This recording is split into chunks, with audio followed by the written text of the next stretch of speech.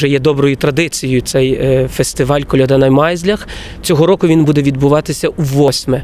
Цього року його особливість в тому, що е, він набирає.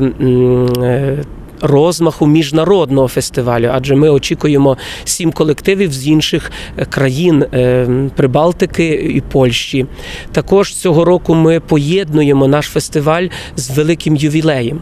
Е, Васильянському чинові святого Йосафата, до якого також належу я, цього року виповнюється 400 років. Це міжнародний чин. Сьогодні ми присутні у 12 країнах на всіх континентах світу. До нас належать не тільки українці, але також інші народи, де існує Українська греко-католицька церква.